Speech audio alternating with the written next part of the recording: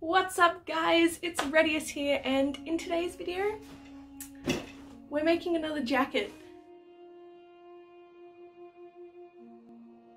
This time this jacket isn't for myself, it is in fact for one of my LARP friends. I'm really excited to actually make this jacket so over the last couple of nights I've kept myself awake thinking about this jacket and what I want to actually do with this jacket simply for the fact that he's given me free reign over it so that's really exciting. It gives me a chance to express some creative liberties with it and I just hope he likes it in the end. He provided the fabric for it so that just leaves me to making it really. Now I really wanted to make this video to help some of my fellow LARPers because I've had a good conversation with a couple and they've been asking how do you make jackets? How, you you know, this process. Now, I remember my first video that I did on making a jacket, it ended up not being a jacket, it ended up being a vest sort of dress thing. So this time it will actually be a jacket. First things first, I will show you the patterns I use as all my jackets literally follow the same pattern. So we'll start with that. Now I've decided to sit down because I'm really lazy and standing was just too much. Now I feel like I should talk a bit more about the pattern that I use and the basic overall of how I make my jackets. I'll quickly sketch out like the rough shape of a jacket. So most of my patterns I actually make myself. So I have the top section of my pattern which consists of a back panel and two front panels. Now you can make them a little bit more complicated. Now for me a back panel looks like this. You can change these back panels by tapering in the sides more if you have hips. Obviously females have hips so I always taper mine in and to measure this length, you measure obviously from under your arm down to either your waist or your hips. For me, I go to where my hips sit. Uh, so it usually makes this section a little shorter. So it usually cuts off about like there. So it's usually a shorter section. Now that's the back panel.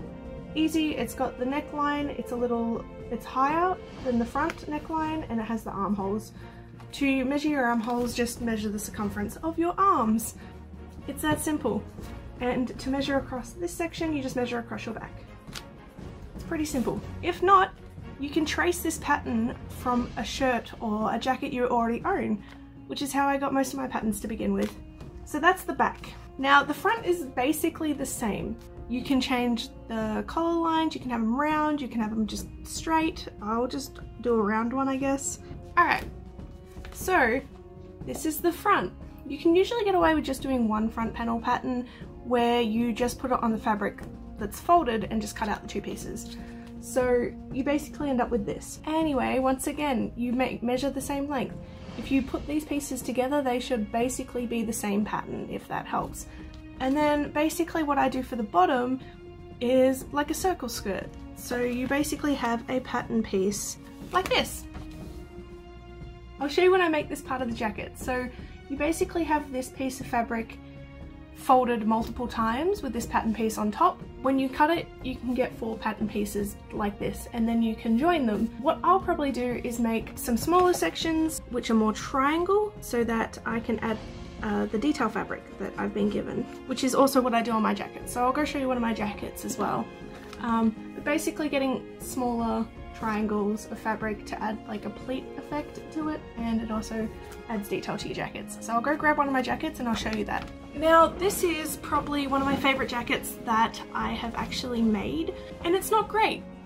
Those parts on the bottom of the jacket, the skirt part of the jacket I guess, you have these panels which is that triangle shaped panel I was talking about or not triangle, just those bigger triangles.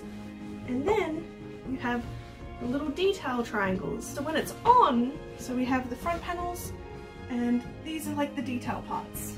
So yeah, basically we have skirt, back and front. That's simple.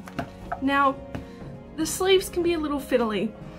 The best way to describe it is it's a rectangle. So something just like that at the top. And then just have that curved around the edge.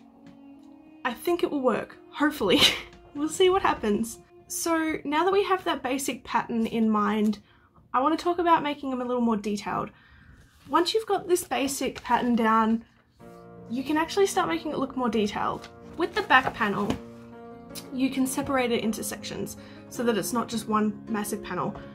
The only thing is that this can be a little complicated to keep track of your pattern pieces once you've cut them out obviously, like obviously, but other than that it's fine. So it basically turns the back panel into three pieces.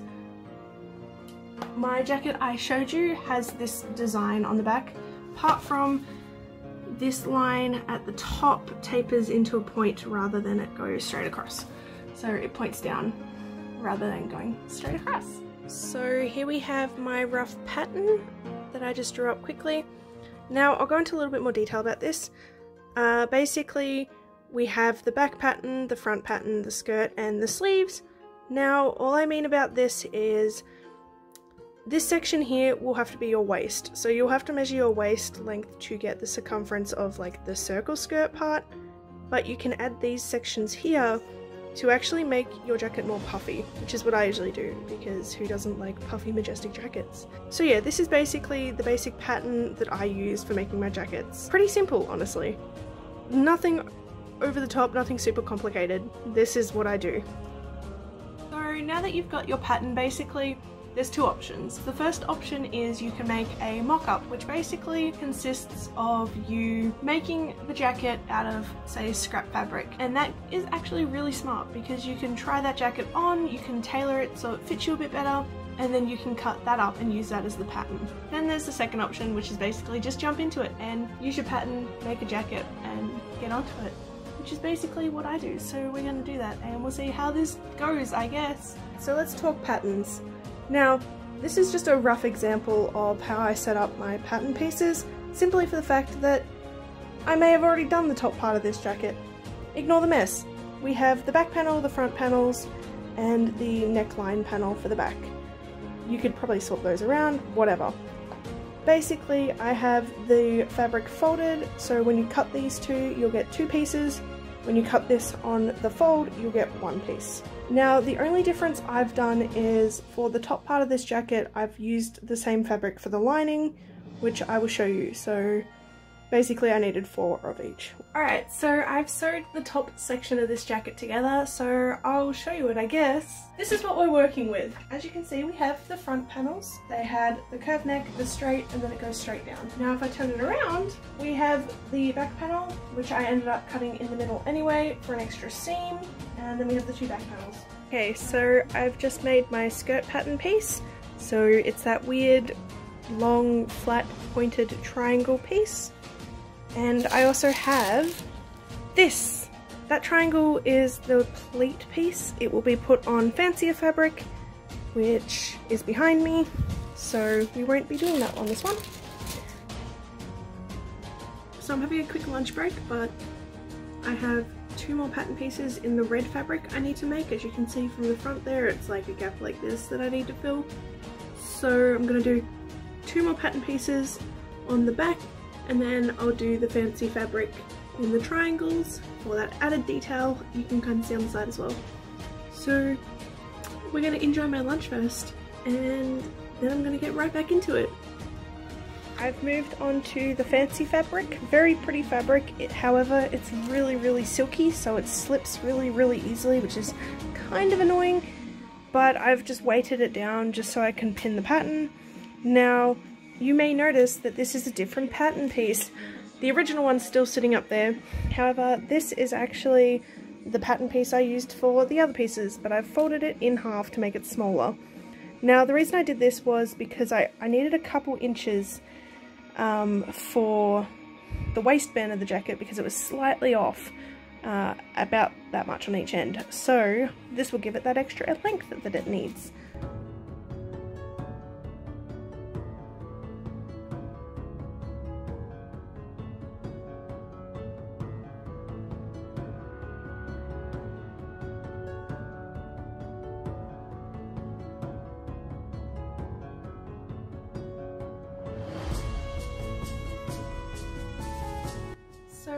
Attached the skirt just with pins at the moment, just to show you what the back panels will look like.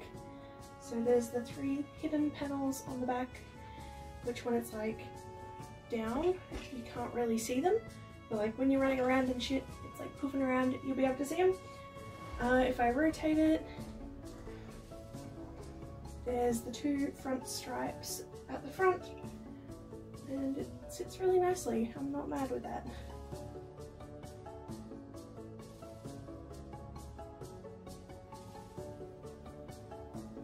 So we're actually on to day two of making this jacket. After lunch yesterday, I...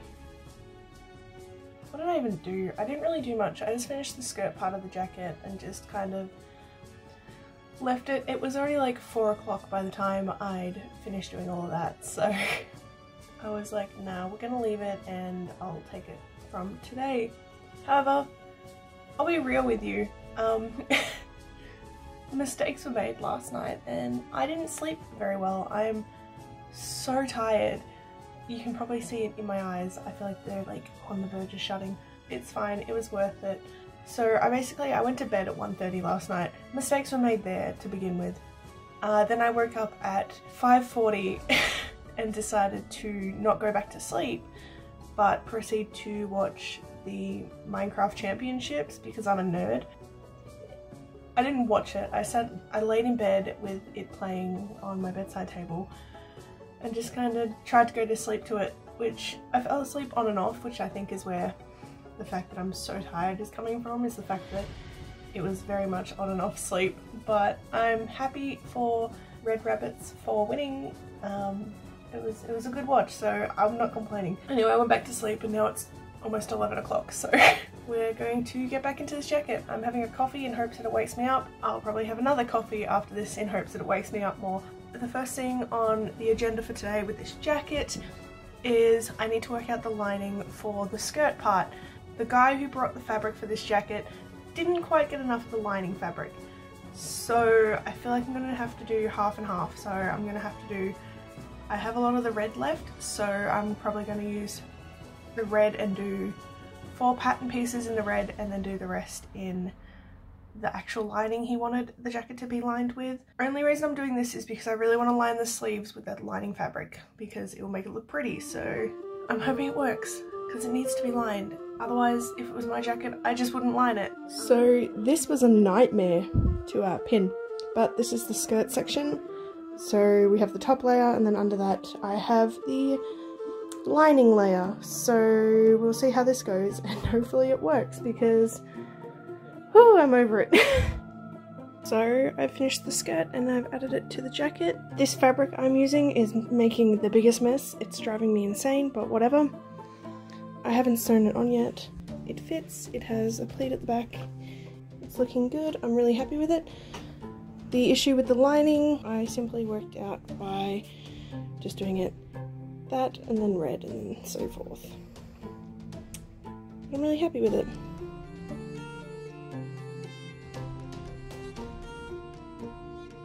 So it's day three of finishing this jacket. All I have to do is attach the skirt onto it and I have to do the sleeves. That is everything apart from the small details and stuff but I'm really excited and fingers crossed I actually get it finished today. So with that, let's get onto it and let's get this jacket finished. I'm so excited to actually have it done. Alright, so let's talk sleeves. Now, the pattern I gave was this shape for the top of the sleeve. I wanted to change this, and I, I did say that, and I did change it. So how these sleeves work is basically, if you were to fold this sleeve in half, and have a half circle on either side, that would join at this seam of a shirt. It'll have some that comes to the front and some that goes to the back. Now, I wanted these sleeves to go from that seam down the back and that's it. I didn't want them to come to the front. So with saying that, what I did was basically cut the sleeve in half so that I had half a circle, which would go from the back and down the back. The sleeves are a simple rectangle of fabric, the added detail, and the lining is the same pattern piece on the back. So I'm going to attach these to the jacket and we'll go from there. So with that we are at the end of the video. All I had to do was attach the collar and I finished the sleeves. I'm I'm really happy with it and the person that I made it for is really happy with it and I can't wait for him to have it for himself, to try it on and just enjoy it for what it is really.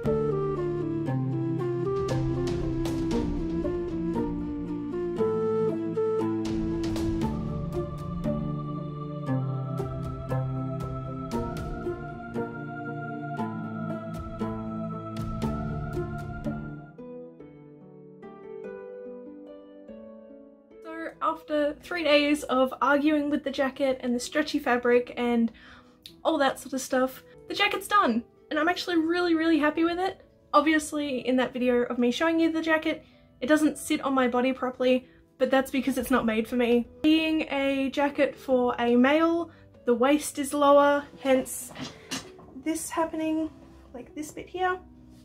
Normally, as I said, I would have my waist up higher and then I'd flare out, but being for someone who's built differently than me, fingers crossed it fits him and I hope he really enjoys it. So with that, this video is finished. I hope you enjoy it. I hope it helps my fellow rats and some other people in the LARP community. And with that, that's done. The next sewing thing I'm hoping to do in the future is this fun little pattern and I'm really excited so we'll see what happens. I might film it, we're gonna make some little corsets and that makes me really happy. So with that one, I will see you all in the next video. Bye guys!